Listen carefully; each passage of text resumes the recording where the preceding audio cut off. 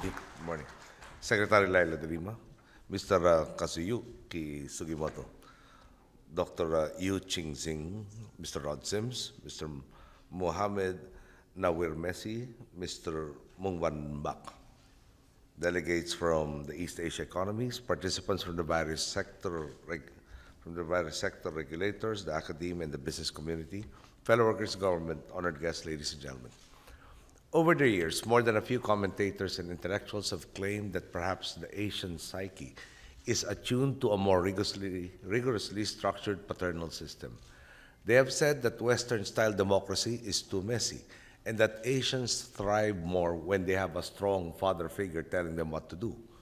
In recent history, we have borne witness to this phenomenon several times. Many countries have had strong man rulers, some of whom were good and many of whom were not, which is perhaps what one could naturally expect of a system where a single person decides on anything and everything all the time. Less than 30 years ago, the Philippines was under such a system. It led to experiments like crony capitalism, which allowed monopolies to be granted to certain companies and worse, to single families. We saw the dictator basically grab and distribute control of entire industries. We saw legal restrictions to competitions passed for no other reason than patronage, done under the guise of causes such as nationalism. As a student of economics, I know that monopolies are incredibly inefficient. It kills innovation. There is zero impetus in a monopoly to continually improve your product or your service simply because you have your market cornered.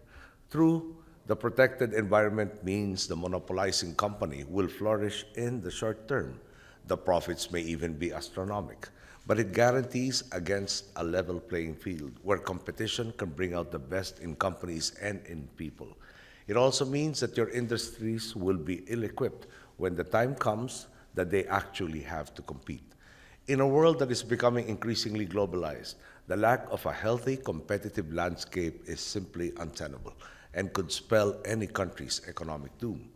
This is precisely why this conference is timely. All of you are gathered here to talk about what can be done to create a fair, level playing field.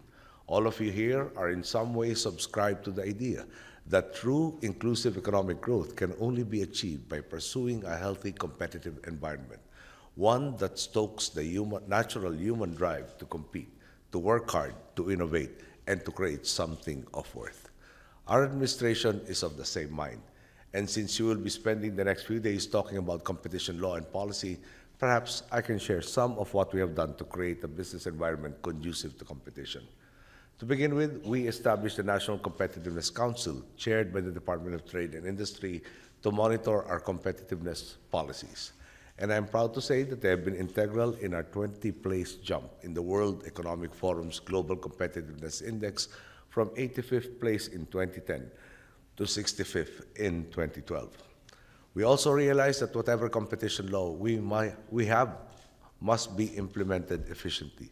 This is why, as many of you may know, in June of 2011, I signed Executive Order 45, establishing the Department of Justice, Justice's Office for Competition, which organized this event. Apart from promoting regional and international cooperation, the office is tasked specifically to investigate and prosecute all violations of competition laws, enforce competition policies and laws to protect consumers, supervise competition and promote transparency and accountability in markets, and undertake studies and reports to guide the industry and consumers. From the beginning, we have also made it easier for companies to set up shop here. After all, the success of a business should not be dictated solely by one's adeptness at navigating the bureaucratic maze. Instead, investors should be able to focus on delivering a quality product or service for a reasonable price.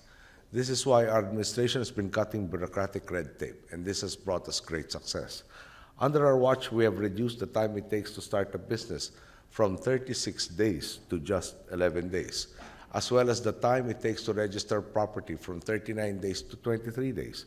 We have also made the processes for paying taxes faster, reducing the time it takes from 47 days to 14 days. And the work does not end here. Moving forward, we will strive to make the processes even more efficient so that we may shorten the time frame very much further. You may have also heard that we have liberalized aviation, allowing new local and foreign carriers such as AirAsia and Jin Air to set up shop here and compete, in turn boosting the performance of our tourism industry. We also passed the Common Carriers Tax Law, which will exempt all international air and shipping car- carriers from paying the 3% Common Carriers Tax on receipts and income derived from transporting passengers. They will also be exempted from the gross Philippine billings tax derived from carrying passengers so long as their home countries grant the Philippines the same exemption.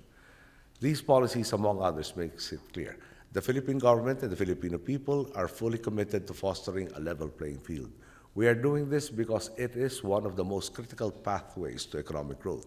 We are doing this because we know our entrepreneurs and our workforce have the work ethic and the creativity to succeed in any environment.